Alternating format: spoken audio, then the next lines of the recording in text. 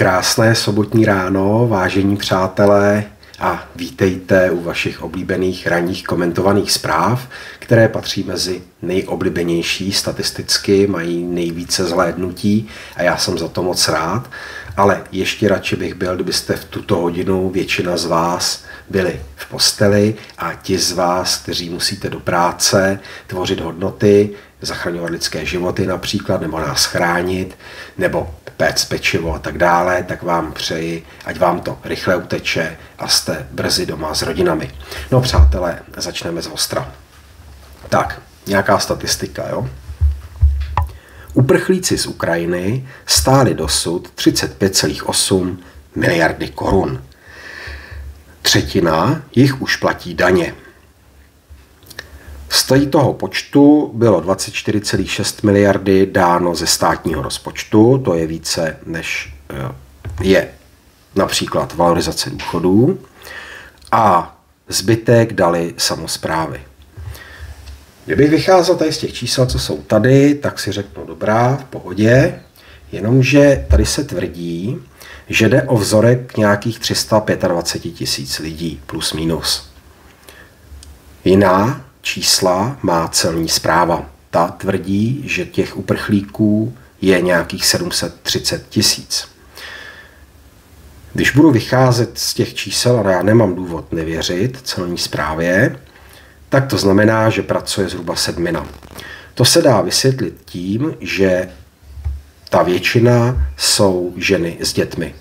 Dobrý, v pohodě, to bych bral je naprosto normální, když přijdete do cizí země a úplně z jakéhokoliv důvodu, i v minulosti Češi prchali a vždycky se musíte přizpůsobit těm lidem. Jo? Netaháte tam svoji vlastní kulturu zatím, to si nemůžete dovolit, musíte se naučit řeč, musíte se naučit školy, případně kurzy a tak dále, podle toho, co je v té krajině dáno. To je naprosto běžná věc, nikdo se tomu nepodivuje. Mě by teda ale zajímalo, proč je tady každý den, a to je v jednotkách desítek, potkávám mladé, zdravé muže z Ukrajiny. To by mě zajímalo, když je tam nedostatek vojáků a chystají se na protiofenzívu. Tak to je taková první, spíše jako si řečnická otázka.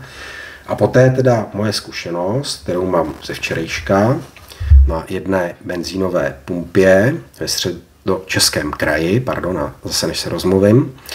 A tam to bylo tak, že tam přijela rodina z Ukrajiny v obrovském SUV, to já nebudu soudit, to je každého věc, nejsem ten typ člověka, co by komukoliv záviděl. A postavili se tam, kde tankují kamiony. Je to tam jasně značený. A postavili se také na štorc. Takže ty kamiony, jak by říkali, změkčele, se tam začaly štosovat a zablokovali samozřejmě tu druhou část, takže ti lidé, co tam tankovali, tak nemohli vyjet. Ta obsluha se to snažila vysvětlit, bylo to všechno marné, nějak jako se nechvátalo a ještě se jako divili. Takže tahle ta celá scéna trvala nějakých, řekněme, já nevím, 15-20 minut a je to takový vypovídající. Jo? To určitě nebyli lidé, kteří uh, utíkají před válkou, bojí se a měli by mít minimálně aspoň radost z toho, že jim někdo poskytne azyl. Protože takhle se rozhodně nechovají lidé, kteří prchají. Takhle se chovají lidé, kteří přijdou někam někoho okupovat například.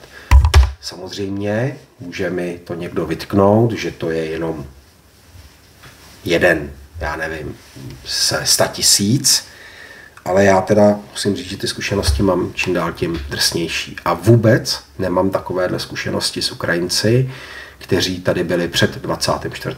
únorem. Tam mám přesně opačnou zkušenost s nimi. Takže je to docela zajímavé tohle sledovat a tady vidíte, jak se ta čísla dají vylhat. A pak je teda další záležitost, a to je ta těch zbraní. A tady se jako bratrů bavíme minimálně o nějakých 55 miliardách, takže celkem je to nějakých 100 miliard. A to už je věc, která mě vadí ve chvíli, kdy tady jsou zprávy zaplavené balíčky konsolidačními, které mají být reformní a reformní tam není prakticky nic.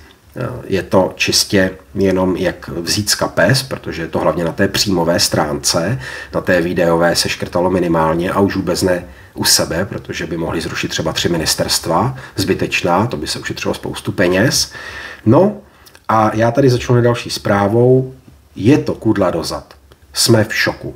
Skázal vládě ředitel Kofoly, zaskočená je kvůli DPH i Matony. No, teď jste volili, ne? Teď jste jim pomáhali ve volbách, podporovali jste je, tak teď to tady máte. A je to i to, eh, co teď vře, a to zase mám z nějakých interních zpráv, uvnitř ODS, kde samozřejmě se to spoustě těm členům a členkám nelíbí. Tohleto, protože to není pravicová politika tohleto. Jo? Pravicová politika se má chovat úplně jinak. Pravicová politika má nechat člověka žít, nechat ho vydělávat, nechat mu co nejvíc peněz v kapse, aby mohl utrácet, pokud možno v tom státě, ne jezdit do Polska, do Německa, do Rakouska na levnější a kvalitnější nákupy, protože to je třeba mouka, že? Tak víme všichni, jak to s tou moukou je. Nakonec teď se dělali testy, takže já bych si tady mouku už teda nekoupil, to bohužel. A tohle to jsou přesně, přesně eh, ty důsledky toho. Jo? To znamená, Tady jim fandili, tady říká například admirální generál, že ukrajinská protiofenzíva má slušnou šanci na úspěch a že dobudou zpátky území, dobrý, super, ale vyžádá si to mnoho obětí. No ale čí obětí? Jako? Jo, protože ty lidi jsou tady. To, pozor, znova říkám, nebavím se o matkách o dětech a o těch stařenkách, které tam zůstaly, tak to bych vám vládo mohl vyprávět, protože tam posílám peníze už kolik, čtyři roky. Jo, takže tady nevykládejte, že se tady jde o nějakou charitu, jako tady o žádnou charitu vůbec nejde. Tady jde o likvidaci. Eh, Londýn posouvá konflikt na novou úroveň, běsní Moskva. Porodávce zlomové zbraně. Ano, jsou to ty rakety s doletem 250 km. Mají podmínku, že se to nemá palit do Ruska. No tak to je úsměvné. No samozřejmě, že na to Rusové okamžitě zareagovali, takže nás to o trošku blíže posouvá.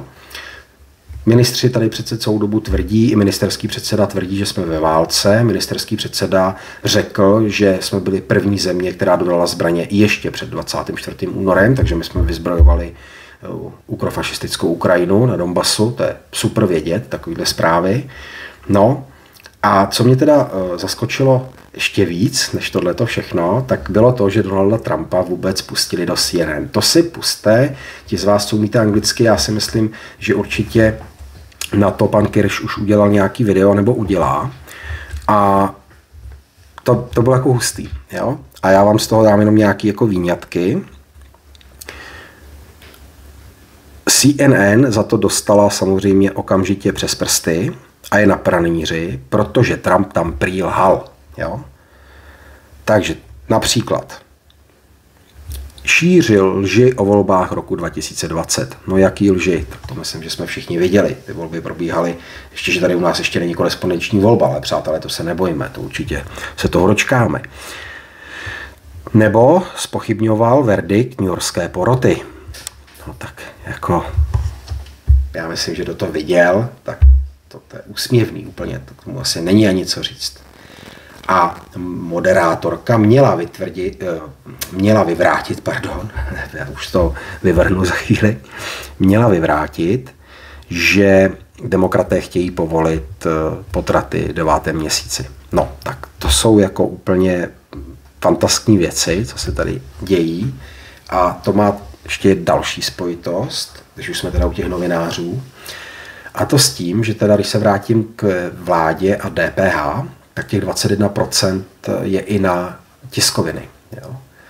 A teď nejvíc, to jako mě rozesmálo, křičí deník N, že to je, že to ohrožuje demokracii a fungování nezávislé žurnalistiky.